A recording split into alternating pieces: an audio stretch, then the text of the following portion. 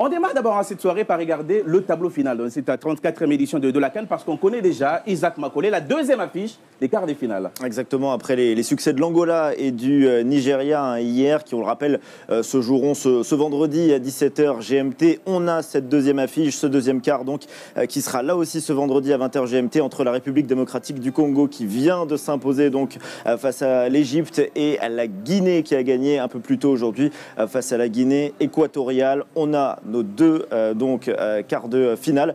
La suite, hein, on le rappelle, euh, ça sera ce lundi et mardi sur nos antennes de Canal Plus Cannes. Avant de revoir les, temps forts hein, d'Égypte RDC, on écoute une première réaction en direct du, stade. Philippe Doucet est avec Johan Wissa.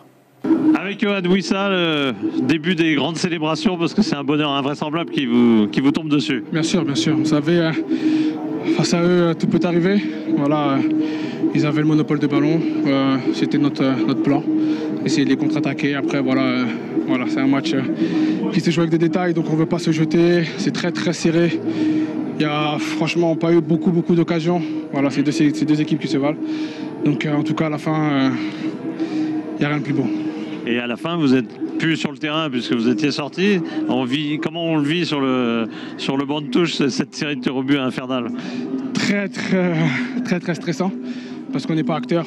Donc on est juste là en tant que spectateur. On devient fan. On perd la notion, euh, on perd la notion du temps, on perd la notion de, du joueur qu'on est. On devient juste fan. Et euh, ouais, je peux que féliciter, euh, féliciter les gars. Ça n'a pas été facile. beaucoup, beaucoup de fautes incompréhensibles.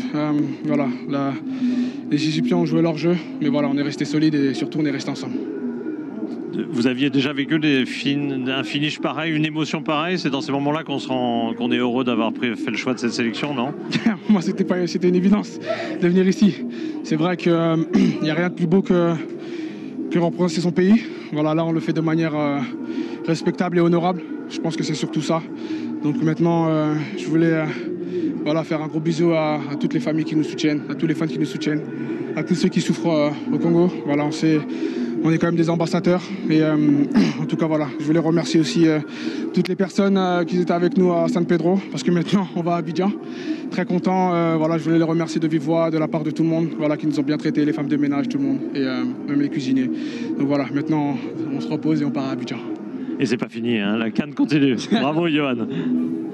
Voilà pour les, premiers mots côté à congolais, les mots de, de Johan Wissa, ailier des léopards de, de la RDC, qualifié donc pour les quarts des finales au terme de cette séance des, tirs au but haletantes. Irrespirable même avec l'Égypte emmenée par Kabaski, son gardien héros euh, lors euh, de la Cannes 2022 où il avait été euh, très bon dans cet exercice des séances de, tirs au but. Il avait cette petite bouteille avec justement là où tirent les, indications. les joueurs. Il avait encore la bouteille. Regardez, elle est à, l'image. Gabaski, donc le gardien. Mais c'est Mostefa Mohamed, le premier joueur à avoir raté un penalty, tireur, hein. euh, toute équipe confondue. Juste après, c'est Masuaku euh, qui va rater son penalty. Les deux équipes sont à égalité jusqu'au tir de Gabaski après 12 tirs au but consécutifs marqués. Gabaski se présente euh, devant Mpassi, le gardien de Rodez. Cette course d'élan et cette frappe sur la barre. Et derrière, Mpassi va tenter de lui rendre l'appareil avec ce dernier pénalty décisif. Il y a 7 partout à cet instant. Mpassi, héros donc de cette séance de tir au but qui qualifie la République démocratique du Congo en quart de finale. Coup d'arrêt pour l'Égypte, donc éliminé de cette canne. En revanche, pour la République démocratique du Congo, sans gagner de match hein, finalement, puisqu'on a gagné au tir au but. On se retrouve en quart de finale pour les Léopards. c'est la première fois. La première fois depuis 2015 hein, que les Léopards de, la RDC gagnent un match à élimination directe à, la, à Cannes. Cédric, euh, Mohamed Mostafa qui, marque un pénalty dans le, match euh, de façon voilà, impeccable, mais euh, qui, tremble là sur, sur les tirs au but. Ouais, j'étais très étonné parce qu'il avait fait preuve d'une maîtrise incroyable dans, le jeu euh, pendant le, match. Je pensais que c'était juste une formalité pour, pour lui, surtout qu'il y a beaucoup de pénalties qui ont été marqués. On a vu des gardiens un petit peu impuissants et ils ne cadrent tout simplement pas. Donc quand vous avez des leaders comme ça techniques qui passent à côté de leur séance, c'est un mauvais message envoyé à tout le monde et au final. Gabaski, qu'on croyait euh, voilà, être la pièce maîtresse, le facteur X dans cette séance, lui aussi, il, a craqué. Ça veut dire que les Égyptiens ne sont pas infaillibles lors des séances de tir au but. Euh, Pour avoir une vue un peu, d'ensemble, avant de- d'écouter vos, vos avis, on va voir les autres temps forts hein, de, ce match, outre la, la séance des tirs au but, où il y a eu euh, quand même pas mal d'occasions, côté congolais, tout comme côté égyptien. Ouais, exactement. Il y a eu une période de, temps fort hein, pour euh, les Congolais, euh, notamment euh, dans le début de match qui a été récompensé hein, à la 37e minute avec cette touche. Alors, il y a litige hein, si cette touche elle est bien congolaise. A priori, sur la, loupe qu'on a proposée à la mi-temps, elle était bien égyptienne, mais c'est les Congolais qui en ont profité avec ce centre de Wissa et la frappe derrière de Meshak Elia qui reprend le ballon de cette tête. Un but à zéro donc pour les Congolais qui ont été opportunistes à cet instant, Cédric. Ils ont été très euh, malins, très intelligents. On a dit en rigolant, en regardant le match, que c'était un but un peu à l'égyptienne. Avec un peu de, de vice, avec un peu de chance, ils profitent d'un moment d'inattention. Et Maswaku, à qui on a pu reprocher certaines choses en seconde période, là, euh, c'est quand même lui hein, qui, qui déclenche cette action. À 42e minute derrière, regardez ce duel aérien entre euh, Batoubin Sika et Egazi. On va revoir cette action de plus près avec l'aide euh, de la VAR et on va voir que le coude de Batoubin Sika va toucher la tête d'Egazi. Penalty Diomansi. Oui, et non, c'est vrai qu'on a pas, pas- pas- pas mal débattu euh, en, en off, parce que moi je pense que le défenseur congolais euh, n'a pas l'intentionnalité de, de- de- de faire faute, mais c'est vrai qu'il met comme le coup dans le visage et ça permet surtout à l'Égypte de pouvoir revenir euh, à la marque. Au contraire de la séance de tir au but, il est parfait cette fois, ce penalty transformé euh, par Mostafa Mohamed, son quatrième but hein, dans cette canne euh, pour le meilleur buteur égyptien. Et on joue la deuxième période, ou plutôt même la première période de la prolongation pour être précis, la 96e minute, avec Banza entré en jeu, qui est fauché euh, par Hamdi, qui lui aussi est entré un peu plus tôt, Mohamed Hamdi, dans ce match, le joueur de Pyramids. Et on va voir, c'est son deuxième carton jaune. L'Égypte va se retrouver à 10 à cet instant, Nabil. Ouais, bon après, euh, on peut avoir euh, débat aussi là-dessus. Autant sur le penalty, je suis d'accord avec Diomansi, on peut discuter. Autant sur le deuxième jaune, euh, moi je trouve que c'est sévère. On a le droit de pas être d'accord avec moi, mais moi j'aurais pas mis un deuxième jaune sur cette situation. Mais tant mieux pour la RDC. C'est le tournant en partie du match parce que derrière, l'Égypte n'a plus d'ambition dans le jeu. Allez, on retourne. On retourne au stade euh, Laurent Pocou de San Pedro pour une euh, nouvelle réaction. Ah, cette fois, c'est c'est Lionel Passy, hein, le, le gardien congolais, qui est avec Philippe Doucet. Avec le héros du jour, homme du match, évidemment, parce que évidemment le moment clé, c'est quand il faut tout d'un coup euh, arrêter un pénalty ou et marquer éventuellement derrière. Ouais, ouais, c'est clair. Aujourd'hui, ça, ça s'est bien passé pour, pour moi, pour, euh, pour l'équipe. Je suis très content de, de ce trophée. En plus, il est super joli. Mais euh, j'imaginais pas du tout que ça se passe comme ça. Je l'avais pensé dans un scénario, mais je pensais pas que ça arriverait ce soir. Mais c'est bien, c'est bien pour nous. On est passé c'est c'est cool. Alors racontez-nous, parce que c'est pas habituel que les gardiens tirent non pas en extrémité, vous êtes tiré en 8 ou 9e, donc avant la fin. C'est parce que vous étiez entraîné, vous étiez prêt à. Bah, on, a beaucoup, on a beaucoup bossé les, séances de, tir au but là, depuis 2-3 jours à l'entraînement. Euh, je savais que si, si, je devais y aller, il fallait que je sois prêt. J'avais raté en plus mon premier penalty à l'entraînement. Mais euh, quand je vois Gabatski tire, euh, on se regarde pas mal dans les yeux. Je vois qu'il a un peu, de, un peu de nervosité dans son regard. Du coup, j'essaie de, de le sortir, euh, sortir du, du contexte et il la met au-dessus. Et une fois que je pose le ballon, j'essaie de rester le plus calme possible et de penser à mon dernier, mon dernier penalty que j'ai tiré à l'entraînement. pardon. Et grâce à Dieu, ça s'est bien passé, c'est cool. Et évidemment, euh, il y a la suite. Comment on, comment on envisage la suite quand on vit un moment euh, aussi fort? Bah, on était venu là, nous, avec, avec nos certitudes. On travaille bien là depuis un an, un an et demi avec le, avec le nouveau sélectionneur. On sait qu'on vient de très loin. On avait à cœur de passer les, les poules et c'est ce qui a été fait. Et maintenant, on prend match après match, mais on sait qu'on peut embêter pas mal d'équipes. Aujourd'hui, c'était l'Égypte, une grande nation du foot, mais on, on, on montre que nous aussi, on est, on, on est de retour euh, parmi, parmi les équipes africaines. Et on voulait, on voulait, on voulait, on voulait montrer euh, au peuple congolais qu'on était là. Quoi. Bravo encore, hein. Merci. bravo. Merci. Voilà pour l'analyse de l'homme de ce match, Lionel Mpassi, hein, Alain Traoré. Ça reste un, un exploit de sortir l'Égypte en Coupe d'Afrique des Nations. Bien sûr que ça reste euh, un exploit en connaissant bien l'Égypte. euh, En plus, euh, ce qu'ils nous ont montré euh, lors de, de la canne passée, au tir au but, ils étaient vraiment redoutables. Ouais. Et là, le Congo, ils arrivent avec un gardien qui était plus ou moins critiqué. Et ils arrivent à gagner au tir au but contre l'Égypte. C'est un exploit. Vu le parcours du Congo, Ils n'ont pas gagné un match, mais ils se retrouvent en quart de finale. Ah oui, incroyable. Je, je- je crois que c'est la, je crois que c'est la première fois dans l'histoire de, de la Coupe d'Afrique. Ah, Anthony Bafoué, les Fimbo, effectivement, on parle de, de la RDC, qui est une grande nation de, de football, mais qui était un peu en difficulté en phase finale de, de Cannes. Je pose la même question à Alain. C'est un moment très, très important de sortir la nation la plus titrée dans cette compétition. Vous avez vu les images tout à l'heure. Euh, on voit que c'est une équipe très soudée. C'est une équipe euh, qui abandonne jamais. Euh, ils ne sont pas vraiment gagnés un match, mais l'esprit, Ouais. on voit que vraiment ils sont ensemble. Et moi, je trouvais aussi que les deux équipes se ressemblent un peu au niveau de, de formation. Mais en fin de compte, je crois que c'est l'esprit et vraiment l'esprit combatif de, de RDC Congo qui leur fait gagner euh, cette match. Et puis aussi le gardien avec sa, sa, euh, sa bouteille. Ah ouais. Après, après, sur revenir sur ce qu'a dit euh, Anthony, je pense que c'est aujourd'hui, c'est le football qui a gagné. On a vu que l'Égypte, la, la- la dernière canne, elle avait amené la Côte d'Ivoire au penalty, le Cameroun et le, et le Sénégal. Et on a l'impression qu'ils ont toujours ce scénario-là. Ouais. Moi, je trouve qu'ils sont très bons, euh, le- la RDC, parce qu'on a toujours dit que c'était le géant endormi, mais qui monte en puissance. Ils avaient fait un match extraordinaire euh, contre le Maroc. Et moi, je suis absolument pas surpris de les voir en, quart de finale. Ils ont un, un banc qui est assez euh, cohérent, qui ramène toujours du dynamisme. Et comme il a dit Anthony, c'est une équipe, on, on sent qu'il y a beaucoup d'amitié et qu'il y a de la qualité. Donc, euh, on retrouve le Congo et ça fait plaisir à tout le monde. Les léopards de, de la RDC hein, qui étaient pourtant privés de Gaël Kakuta au milieu du, du terrain. Mais il y a un homme, il y a un joueur qui a vraiment pesé dans, dans cette rencontre. C'est c'est Meshak Elia dans son couloir droit. Oui, il était attendu au tournant. C'était le, le choix hein, de Sébastien De Sabre sur euh, le côté droit. Et dès les premières minutes euh, de ce match, il s'est créé des opportunités, avec notamment Cédric, des, des ballons dans la profondeur. Il a manqué à un moment donné, notamment sur cette action hein, dans, le, dans le dernier geste. Mais il a eu quand même le, mérite de se créer les meilleures situations congolaises, notamment dans cette première euh, période. C'est pour ça qu'il a été aligné, pour euh, créer des espaces, faire profiter de sa vitesse, de, sa puissance, pour, faire, euh, pour que les Égyptiens courent vers, leur but. C'est vrai qu'il y avait des options, hein. il y avait Fiston Maélé, il y avait Silas. C'est pas forcément lui qu'on voyait le plus depuis le début de la compétition, parce que Wissa avait été un peu plus juste. Il y avait un petit peu le, sujet euh, Bakambu, et vous avez besoin que vos joueurs, vos, leaders, ils répondent présents euh, lors, de, lors des matchs importants.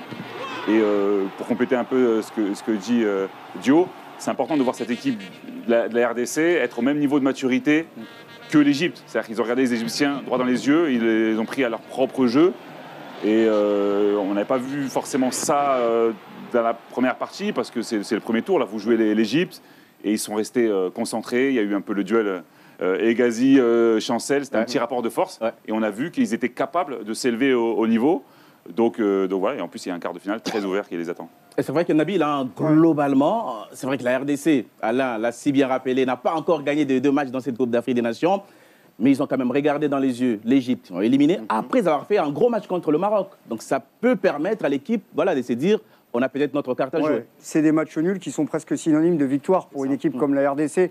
Dans l'état actuel euh, de, de la séquence du cycle, on va dire, ils ont besoin de ce genre de match un peu référence qui leur permettent aussi euh, de prendre euh, de la confiance. Ils ont proposé du football, il y a une logique de groupe, il y a une hiérarchie, il y a des joueurs qui ont été maintenus malgré les critiques. On parlait du gardien, on a parlé aussi à un moment de, euh, de Bakambu. Il y en a qui se sont montrés face au Maroc, qui ont été récompensés, qui sont devenus titulaires comme euh, Meshak Elia. Bon, c'est une équipe qui est plutôt euh, agréable à, à regarder.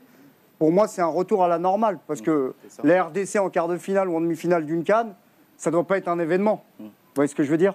On est toujours dans le débrief hein, d'Égypte, euh, RDC, huitième des finales de cette Coupe d'Afrique des, des Nations. Et on vous propose hein, une autre réaction, cette fois, c'est celle du sélectionneur Sébastien Desabre avec Philippe Doucet. Avec Sébastien De Sable qui a vécu sa- la plus belle émotion de sa carrière ce soir? Bon, on, en vit, on en vit pas mal quand on est coach, mais là, aujourd'hui, avec le groupe que j'ai, oui, je suis surtout content pour mes joueurs parce que parce qu'aujourd'hui, on, valide euh, un travail qui a été, euh, même si c'est pas terminé, mais, on, mais on, avait besoin, on avait besoin de ça, on, l'a fait à, la solidarité. Ça me rappelle un petit peu le match au Gabon, on s'était imposé euh, 2-0 aussi. euh, euh, aussi. Donc, euh, ouais, c'est des émotions, c'est pour ça qu'on fait, fait du foot. voilà, c'est pas, pas facile, mais, mais c'est bien. Je suis, je suis fier de mes joueurs parce que, et surtout des, et pour, les, pour les fans au, pays qui, voilà, qui, qui voient que les joueurs donnent tout pour le, pour le maillot et, et on, est, on est vraiment content. Alors justement, vous avez évoqué un peu la suite, parce que c'est vrai que là, vous vivez un moment tellement exceptionnel, vous avez l'impression peut-être d'avoir déjà réussi cette canne, et pourtant, euh, on peut faire encore mieux. Oui, on va bien récupérer. On avait eu deux jours de récupération en moins que, que, l'Égypte. Là, on a quatre jours, euh, on a quatre jours avant le prochain quart de finale à Abidjan, donc euh, on va bien récupérer. Et puis, euh, et puis après, oui, le match de toute manière, on va le jouer pour, pour être performant, pour le gagner. La Guinée, on sait que c'est une bonne, une bonne, une bonne équipe aussi. Elle n'est pas en quart de finale pour pour rien. Ce soir, on va un peu savourer, puis on va se remettre au travail pour être le plus performant possible. Vous mesurez la joie que vous donnez aux Congolais ce soir? Oui, oui, on, bah, on la sent. Moi, j'habite à Kinshasa je, sens l'attente qui est qui, avait, qui est des fois l'attente un peu rapide par rapport au projet qu'on met, en place. Ça va nous donner, euh, nous donner de la force. Je suis content pour, euh, bien sûr pour les Congolais. Je suis content également pour euh, voilà, pour les, gens qui sont un peu en difficulté à l'est aussi du, pays. Et puis je suis content pour le, le, gouvernement et le président de la République qui nous soutient beaucoup. Bon, grand, grand merci et grand bravo Sébastien.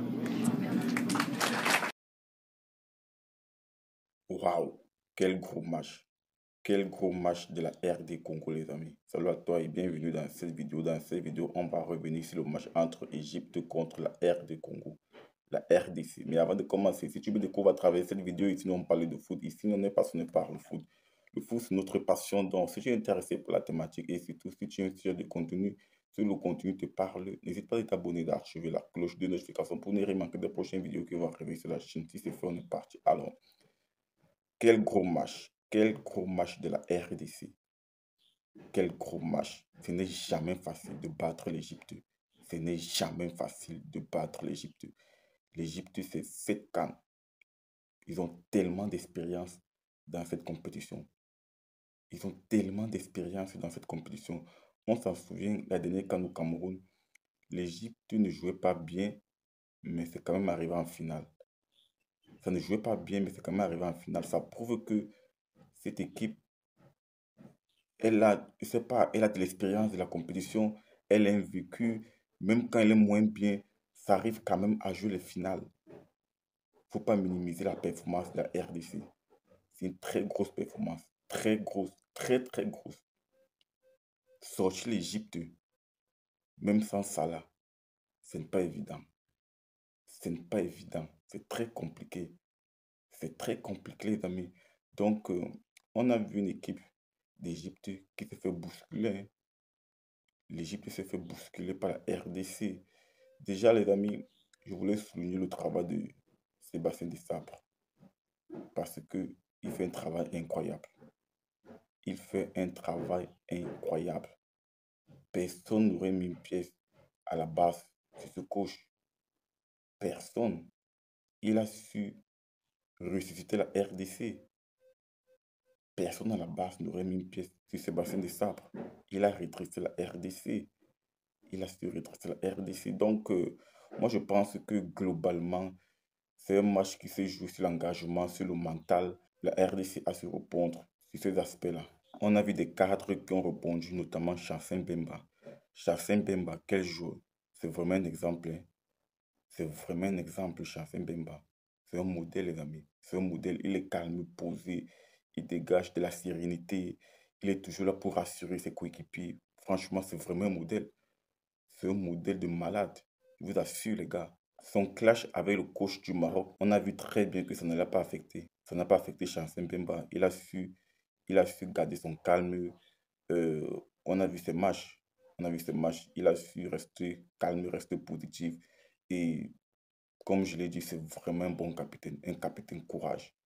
Il motive vraiment ses troupes. Il dégage de la sérénité. Rien à dire sur ce garçon. Il a une mentalité irréprochable. Maintenant, donc, je voulais revenir un tout petit peu sur l'Égypte. L'Égypte, les amis, l'Égypte, on a vu que Salah, quand il n'y a pas Salah, il n'y a presque rien. C'est presque une coquille vide. C'est presque une coquille vide sans Salah. C'est l'inconvénient lorsque tu es un grand jeu. Lorsque tu es un grand jeu, tu veux forcément miser sur le grand jeu là. L'Égypte n'a pas un collectif huilé par rapport à la RDC. La RDC, on voit bien que tout le monde joue ensemble, tout le monde fait les efforts pour l'autre, tout le monde se bat pour l'autre. Ce n'est pas le cas en Égypte. Dès que cela n'est plus là, ça devient très compliqué derrière. Ça devient très compliqué derrière. La RDC qui sort donc la grande équipe d'Égypte, cette fois championne d'Afrique, la RDC qui va rencontrer la Guinée, ça serait un match aussi compliqué. La Guinée, ce n'est pas une équipe qui est facile à jouer. Ils ont joué contre nous, contre le Cameroun. On a vu ce que ça a donné. C'est une équipe qui te rentre dedans, qui te presse. Donc, euh, la RDC doit être prévenue. Ils doivent être prévenus. Heureusement qu'ils ont un coach, un coach d'expérience, un coach vraiment qui connaît son groupe. Ils ont vraiment un coach qui connaît son groupe. Donc, moi, je suis sûr que ça serait un match vraiment palpitant. Ça serait un match très palpitant entre RDC et Guinée. Il y a vraiment un courageux pour les deux équipes pour arriver en demi-finale. Il y a vraiment un courageux parce que si la RDC gagne, et se retrouve en demi-finale. Si la Guinée gagne, et se retrouve en demi-finale. Et vraiment, c'est un match prenable pour les deux équipes. Après, partage-moi ton ressenti en commentaire par rapport à ce match. Et si ce n'est pas encore fait, n'hésite pas à t'abonner, d'activer la cloche de notification pour ne rien manquer des prochaines vidéos qui vont arriver sur la chaîne. on se dit à très bientôt pour notre revue de les. Ciao, ciao.